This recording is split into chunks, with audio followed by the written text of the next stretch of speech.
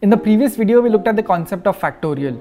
But at the end of the video, I also asked you all to find out the values of 1 factorial and 0 factorial. Did you all get the answers? Even if you all got the answers, do you all know the logic behind your answers? Let's see. We have an interesting way to understand this. 3 factorial is 6. This basically tells us how we can write three things in different ways. Say the three things are A, B and C. We can write it in 6 different ways. That's 3 factorial. 2 factorial is 2. Say we have a and b, then we can write it in just two ways, ab and ba. Now 1 factorial means we have just one element in our set, say a. We can write it in just one way, a. This means 1 factorial is 1 and 0 factorial means we do not have any element in our set.